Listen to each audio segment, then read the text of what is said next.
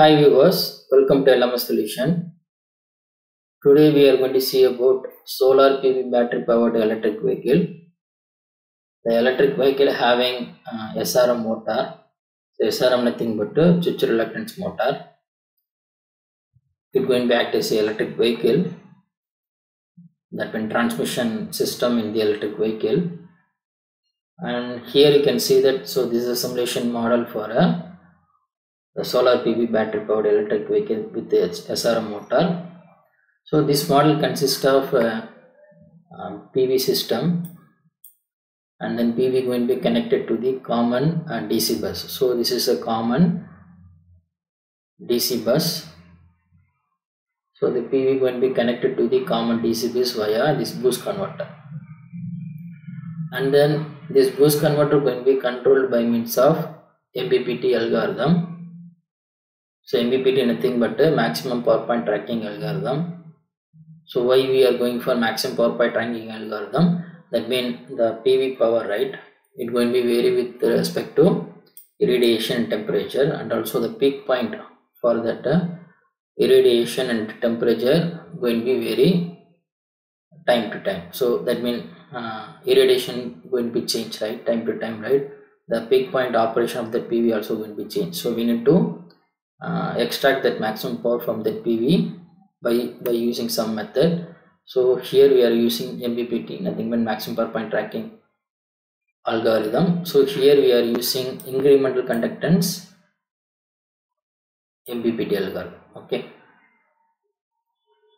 So here that algorithm receiving two inputs. So one is PV voltage and PV current. Okay. So based upon PV voltage and PV current right? So this algorithm having this logic okay? So here you can see that you have to initialize uh, four parameter. So initial duty cycle maximum duty cycle and then minimum duty cycle and then uh, step change in duty cycle okay? Increment and decrement with the small change in duty cycle with respect to condition of that incremental conductance MPPT. So in order to implement that incremental conductance MPPT, so we have to initialize this uh, parameter V volt, P volt, T volt, M and I volt. So this is nothing but the previous instant voltage, power, duty cycle and current. So initially this uh, parameter does not have any value. So we need to initialize that parameter so here you have to check the value for V volt whether it is empty or not. If it is empty right so you have to initialize the value for V volt V volt I volt and D volt okay. So next to process you have to calculate power change in voltage change in power change in current okay. So next thing is uh, after calculating change in voltage, change in power, change in current, next you have to check the condition for incremental conductance in MPPT. So first you have to check change in voltage equal to 0. If it is equal to 0, next you have to check the change in current. If it is equal to 0, change in current equal to 0, then the PV already operated in the maximum power point condition. So no need to do anything in this, uh, that means no need to do any modification in the duty cycle, current duty cycle so you have to uh, maintain that uh, duty cycle which is equal to the previous instant duty cycle. If suppose the change in current is not equal to 0 so then you have to check the condition of uh, change in current is greater than 0 if change in current is greater than 0 then we need to decrement the duty cycle. If change in current is less than 0 we need to increment the duty cycle in order to adjust the operating point of the PV towards to maximum power point condition. So this is the first condition for that uh, incremental conductance MPPT. So next condition for that incremental conductance MPPT. So here you have to compare the incremental conductance. The change in current divided by change in voltage should be equal to minus I. If this condition is true, PV already operated in the maximum power point condition. Then no need to do anything in the duty cycle okay? You have to maintain the current duty cycle which is equal to previous instant duty cycle. If suppose this condition is not true so you have to check the incremental conductance. And di by dv is greater than minus i by v if it is this condition is true then we need to decrement the duty cycle or else we need to increment the duty cycle. In order to adjust the operating point of the PV towards to maximum power point condition. So after calculating this duty cycle, so next you have to check the duty cycle whether it is in between maximum and minimum limit. Okay. If it is in between maximum minimum limit, no need to do anything in that duty cycle. So you have to take as it is. If suppose is this is not obey the that means it is greater than d max and less than d minimum, then you have to maintain that current duty cycle which is equal to previous duty cycle. And here we have to override the, the current duty cycle voltage power and current with the previous duty cycle voltage power and current.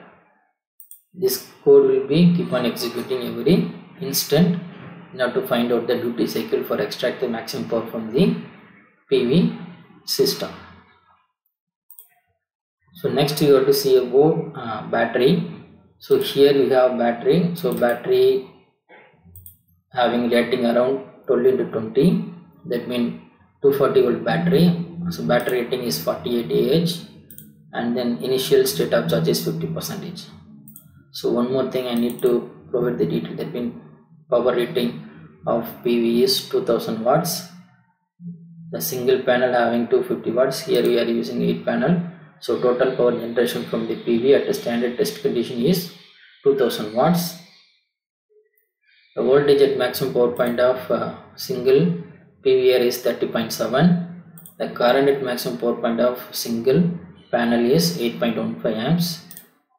Here we are connecting 8 panel in series. So then we will get the voltage across the PV array which is equal to around 245 volt. So the 2, 245 volt to be step up to 400 volt by means of this boost converter along with the this incremental conductance MPPT. Now comes to the battery right? Here we have the battery. So battery rating is 240 volt with the 48 ah the 240 volt when we step up to 400 volt. And also we need to exchange the power between both directions. So that means we need to charge the battery or we need to take, take the power from the battery so then we need to connect bidirectional converter in between this battery and uh, the common DC bus. So this bidirectional converter also to be designed based upon the the rating of this boost converter. And this bidirectional converter going to be controlled by means of voltage control method. So for that we go to measure the, the DC bus voltage. The DC bus voltage going to be compared with reference voltage that means here we are going to maintain in DC bus we are going to maintain around 400 volt. So that that uh, actual DC bus voltage is going to be compared with 400 and it going to be processed via PI controller and it going to be generate the pulse via this PWM generator. So this pulse going to be controlled this by bidirectional converter okay so this converter going to be maintain the DC bus voltage around 400 volt always and this pulse going to be used to control this boost converter for extracting the maximum power from the PV and boost the voltage from 245 to 400 volt. So next you have to see about electric vehicle with SRM motor. The electric vehicle with a SRM motor, right? It it consists of a, uh, local. That means you consider any electric vehicle. Electric vehicle consists of local load as well as motor drive. Okay. So here we have local load uh, local load nothing but lamp load and other load other stuffs in the electric vehicle and then the main load nothing but electric motor okay so electric motor here we are using is SRM motor SRM nothing but a switch reluctance motor so here we are using 8 volt switch reluctance motor this is rating of that uh, switch reluctance motor. And then this is a converter used for that switch reluctance, uh, switch reluctance motor. And here we are measuring the detail of SRM motor like arms that mean current through that SRM motor, torque of the SRM motor, speed of the SRM motor. So here we are measuring the speed of the SRM motor and then here we are calculating psi from that speed and the alpha beta. So that means position sensor. Okay, so here we are using position sensor. So the position sensor will be calculated that psi and then here we are providing the uh, reference speed for the SRM motor that means here we are going to control that uh, SRM motor uh, like uh, uh, initially you have to acceleration concept and then you have to maintain some speed. After some time you have to apply deceleration concept. So like that you have to create the speed command here. So from 0 to 1.5 the speed will be increased from 0 to 2000 rpm from 1.4 to 3.5 the 2000 rpm will be maintained constant. From 3.5 to 5 the speed will be changed from 2000 to 0 rpm so for creating acceleration and ideal then acceleration and constant speed and the deceleration mode. So here we are using this command. And actual speed and the reference speed going to be compared here. And then it's going to be processed by PI controller. And the output of PI controller is multiplied with the sigma and then it will be generated the current reference. This current reference going to be compared with the actual current of the SRM motor and then going to be processed via hysteresis controller. It will be generate the gating pulse for that uh, converter. So this converter to be control this SRM motor in order to maintain the speed that means as per the reference speed and also it will be uh, maintain some that mean uh, maintain that power according with the load in that electric vehicle so this is a control logic of SRM motor so next we have to explain about the results right? So here we have different results. So first one is here you can see that PV voltage PV current PV power. And here you can see that this is DC bus voltage electric vehicle input current electric vehicle input power. That mean voltage and current and power of this this point right? And this is nothing but voltage current and power of the battery and this is SOC of the battery. So next you have to see about that mean uh, parameter of electric vehicle that mean voltage of the SRM motor flux of the SRM motor and then current of the SRM motor. And here you can see that this is the, electromagnetic torque of the SRM motor and the speed of the SRM motor and compared with reference speed. So these are the detail we, have to discuss now.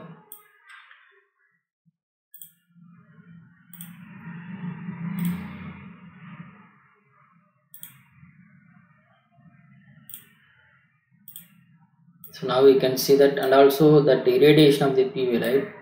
Is going to be changed dynamically. So initially it's going to be maintained at uh, 1000 radian per second and then 800 and then 500 and then 400 and then 300 so here you can see that here we are changing changing the irradiation every 0.3 sorry 1 seconds. That means 1800 500 300 100 again it going to be changed to 800 okay.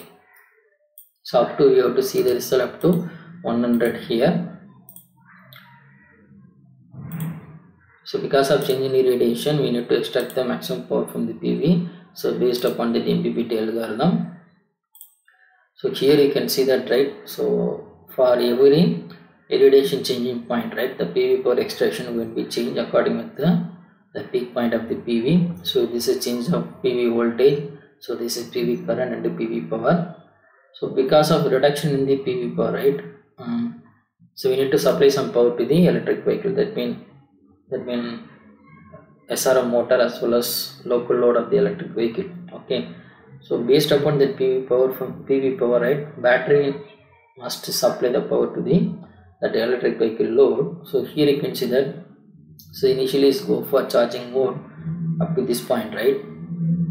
So after that what happened the PV power is uh, decreasing. So PV power decreasing then what happened the battery power is goes to charging mode to discharging mode.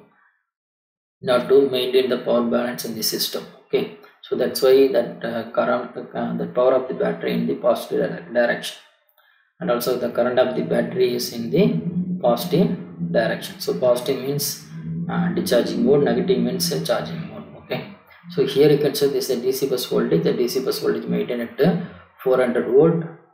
And this is variation of uh, input current of the electric vehicle based upon the, the speed command and actual speed of the SRM motor right? The speed will be increasing like this and then maintain like this and then decrease like this right?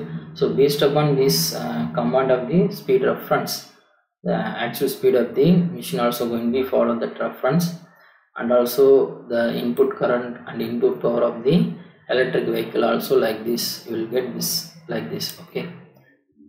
So here you can see that the power balance of the system maintained always zero and also the speed of the SRM motor is uh, follow that uh, command reference speed and battery will be uh, moving from cha- dich- charging mode to discharging mode according with the uh, power of PV. So this is working of uh, solar PV battery electric vehicle with the SRM motor. Thanks for watching our videos. Kindly subscribe our channel and also click click bell icon for notification about upcoming videos. Thank you. Thank you so much. Bye bye.